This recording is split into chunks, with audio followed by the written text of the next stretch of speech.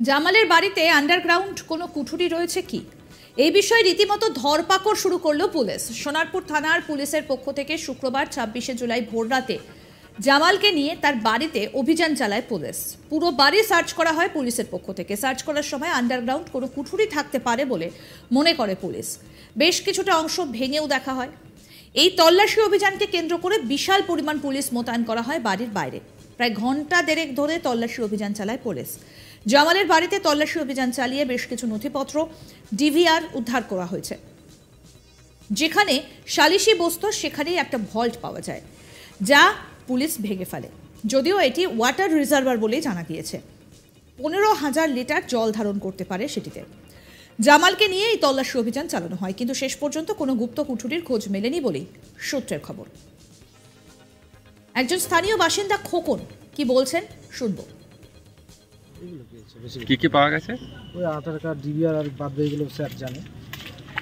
আর তল্লাশি অভিযানে কোনো ইয়ের আন্ডারগ্রাউন্ডের কিছু হদিশ টদিশ পাওয়া গেছিল? না না না না ওই খালি ওই জলের ট্যাঙ্কিটা ছিল ভাঙা হয়েছে। আরও এক স্থানীয় বাসিন্দা মুজিবর মোল্লা কি বলছেন? শুনব। ওই সাক্ষী হিসেবে ডেকেছিল হ্যাঁ কি কি পুলিশ কি কি করল ওখানে? ওই যেটুকুনি ছিল জিনিসপত্র তাই নিয়ে আছে। একটা ভাঙা ভাঙি শব্দ পাওয়া যাচ্ছিল সেটা কিসের? ওটা ওই পানির ট্যাঙ্ক ছিল। জলের ট্যাঙ্ক? হ্যাঁ ভেঙে ওর মধ্যে কিছু পেয়েছে? হ্যাঁ। না কিছু পাইনি।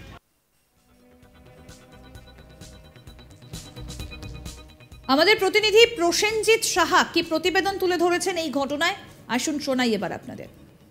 এবার গুপ্ত কুঠুরির খোঁজে জামাল উদ্দিনের বাড়িতে হানা দিল সোনারপুর থানার পুলিশ। শুক্রবার ভোর রাতে জামাল উদ্দিনকে সাথে নিয়েই সোনারপুর থানার অন্তর্গত প্রতাপনগর গ্রাম পঞ্চায়েতের সাঙ্গুর গ্রামে জামাল উদ্দিনের যে বিশাল প্রাসাদপ্রম বাড়ি রয়েছে, সেই বাড়িতেই হানা দেয় সোনারপুর থানার পুলিশ। পুলিশের কাছে খবর ছিল জামাল উদ্দিনের বাড়িতে একটি গুপ্ত কুঠুরি রয়েছে, আর সেই কুঠুরির খোঁজে কার্যত ঘণ্টার পর ঘণ্টা তারা তল্লাশি অভিযান চালান। যদিও শেষ পর্যন্ত গুপ্ত কুঠুরির কোনো হদিশ মেলেনি। যেই ঘরে এই জামালউদ্দিন সালিশি সভা বসাতেন, সেই ঘরের নিচেই একটি ভল্ট পায়ে সোনারপুর থানার পুলিশ এবং সেই ভল্ট ভেঙে যখন তারা দেখেন, দেখা যায় যে ভিতরে একটি জলের রিজার্ভার রয়েছে। প্রায় পনেরো হাজার লিটার জল সেই রিজার্ভারে থাকতে পারে, এমনটাই কিন্তু অনুমান করা হচ্ছে। কিন্তু এত বড় রিজার্ভার কেন বাড়িতে করা হলো তা নিয়ে যথেষ্ট প্রশ্ন রয়েছে পুলিশের। ইতিমধ্যেই জামালউদ্দিনকে সে বিষয়ে প্রশ্ন করতে শুরু করেছে, সে বিষয়ে জিজ্ঞাসাবাদ করতে শুরু করেছে সোনারপুর থানার পুলিশ যে এত বড় রিজার্ভার একটি বাড়িতে কি কারণে বানানো হয়েছিল, অন্য কি উদ্দেশ্য ছিল রিজার্ভার বানানোর পেছনে, সেটা খতিয়ে দেখছে সোনারপুর থানার পুলিশ। আর এই জামালউদ্দিন সর্দারের বিরুদ্ধেই একাধিক অভিযোগ সোনারপুর থানায় জমা পড়েছিল। জামালউদ্দিনের বিরুদ্ধে যেমন এলাকার মহিলাদেরকে মারধর, এলাকার সাধারণ মানুষের উপর অত্যাচার, তাদেরকে বাড়িতে ডেকে নিয়ে এসে সালিশি সভা বসানো আর সেই সালিশি সভায় নিজের মতো করে নিদান দেওয়া আর সেই নিদান মানতে অস্বীকার করলেই তাদের ওপর চলতো অমানসিক অত্যাচার। এমনকি শিকল দিয়ে বেঁধে রেখেও বেধড়ক মারধর করা হতো বলে অভিযোগ উঠেছে জামাল উদ্দিনের বিরুদ্ধে। জামালের বিরুদ্ধে ইতিমধ্যেই সোনারপুর থানায় একাধিক অভিযোগ দায়ের রয়েছে আর সেই অভিযোগের ভিত্তিতে ঘটনার তদন্ত করে সোনারপুর থানার পুলিশ জামাল উদ্দিনের বিরুদ্ধে এই অত্যাচারের ঘটনা যখন প্রকাশ পেতে শুরু করে তখনই পালিয়ে যায় কার্যত জামাল উদ্দিন সর্দার এবং তারপর সোনারপুর থানার পুলিশ তার খোঁজে বিভিন্ন জায়গায় তল্লাশি অভিযান চালায়। বারুইপুর পুলিশ জেলার পুলিশ সুপার পলাশচন্দ্র ঢালির নির্দেশে একাধিক তদন্তকারী দল গঠন করা হয়, জামালউদ্দিনের খোঁজে বিভিন্ন প্রান্তে তল্লাশি অভিযান চালানো হয়। শুধু সোনারপুর থানা এলাকা নয়, আশপাশের যে সমস্ত থানা এলাকা রয়েছে পাশাপাশি দক্ষিণ চব্বিশ পরগনা জেলার বিভিন্ন প্রান্তে তল্লাশি অভিযান চালিয়ে অবশেষে গত শুক্রবার জামালউদ্দিনকে গ্রেপ্তার করতে সক্ষম হয় সোনারপুর থানার পুলিশ। শনিবার তাকে বারুইপুর মহকুমা আদালতে তোলা হলে বিচারক দশ দিনের পুলিশ হেফাজতের নির্দেশ দেন। আর সেই পুলিশ হেফাজতে নিয়ে জামালউদ্দিনের বিরুদ্ধে ওঠা অভিযোগের একের পর এক তল্লাশি বা তদন্ত শুরু করেছে সোনারপুর থানার পুলিশ। আর সেই তদন্ত করতে গিয়েই কার্যত শুক্রবার ভোরে জামালউদ্দিনকে নিয়ে সোনারপুরের প্রতাপনগরের সাঙ্গুর গ্রামে জামালউদ্দিনের যে বিশাল প্রাসাদপ্রম বাড়ি, সেই বাড়িতেই তল্লাশি অভিযানে যায় সোনারপুর থানার পুলিশ। আর সেখানে তল্লাশি অভিযানে যাওয়া হয় মূলত একটি গুপ্ত কুঠুরির খোঁজে। জামালউদ্দিনের বাড়িতে আন্ডারগ্রাউন্ড রয়েছে, তেমনটাই এলাকার মানুষজনের দাবি ছিল। যারা অভিযোগ দায়ের করেছিলেন, তাদেরও দাবি ছিল। পুলিশও তদন্তে নেমে এলাকার মানুষের সাথে কথা বলে এই ধরনের অভিযোগ পেয়েছিল। আর সেই গুপ্ত কুঠুরির খোঁজেই কার্যত শুক্রবার ভোর রাতে জামালকে সাথে নিয়ে পুলিশ সেই বাড়িতে হানা দেয়। যদিও শেষ পর্যন্ত গুপ্ত কুঠুরির খোঁজ মেলেনি তবে বাড়ির ভেতর থেকে কার্যত বিশাল আকার একটি জলাধার উদ্ধার হয়েছে। এই জলাধার কেন করা হয়েছিল? পনেরো হাজার লিটারের জলাধার আহ, কার্যত কি কারণ ছিল এই জলাধার করার পেছনে? সেই বিষয়টি নিয়ে ইতিমধ্যেই তদন্ত শুরু করেছে সোনারপুর থানার পুলিশ। পাশাপাশি জামালউদ্দিনের বাড়ি থেকে এদিন প্রচুর নথি উদ্ধার করেছে পুলিশ। ডিভিআর উদ্ধার হয়েছে। অর্থাৎ জামালউদ্দিনের বাড়ির চারপাশে যে সিসিটিভি ফুটেজ সিসিটিভি ক্যামেরা লাগানো রয়েছে তার যে ফুটেজ যেখানে স্টোরেজ স্টোর হয় ডিভিআর সেই ডিভিআর উদ্ধার করেছে পুলিশ এবং এই আহ, জামালউদ্দিনের ঘটনায় আরও যে অভিযোগগুলো রয়েছে সেগুলো খতিয়ে দেখা হচ্ছে।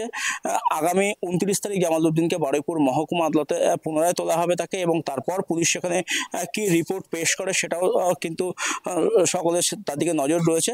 যদিও আহ, জামালউদ্দিনের আহ, ওপরে শাসক দলের ছত্রছায়া রয়েছে শাসক দলই কার্যত জামালউদ্দিনকে মদত দিত। সোনারপুর থানার পুলিশের সাথে জামালউদ্দিনের দহরম মহরম ছিল।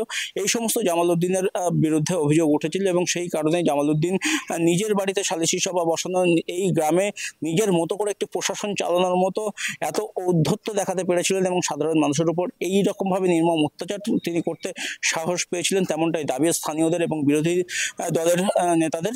যদিও জামালউদ্দিনের সাথে তৃণমূলের কোনো যোগ নেই সেটা আগেই জানিয়ে দিয়েছেন সোনারপুর দক্ষিণের বিধায়ক লাভলি মৈত্র এবং জামালউদ্দিন দলের যেমন কোনো পদে নেই তেমনি কোনো প্রশাসনিক পদে নেই তেমনটাও জানিয়ে দেওয়া হয়েছে।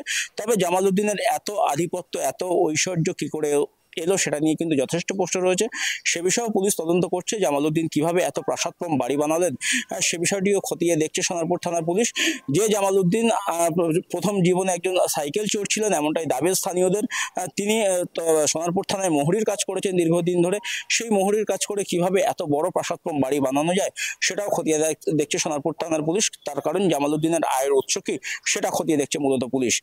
তার পাশাপাশি তার বাড়িতে গুপ্ত কুটিরের খোঁজ পেয়ে শুক্রবার সকালে সেখানে তল্লাশি অভিযান চালিয়েছিল পুলিশ, কিন্তু শেষ পর্যন্ত সেখান থেকে কোনো গুপ্ত কুঠুরি উদ্ধার হয়নি। একটি বিশাল আকার জলাধার সেখান থেকে উদ্ধার করতে পেরেছে সোনারপুর থানার পুলিশ।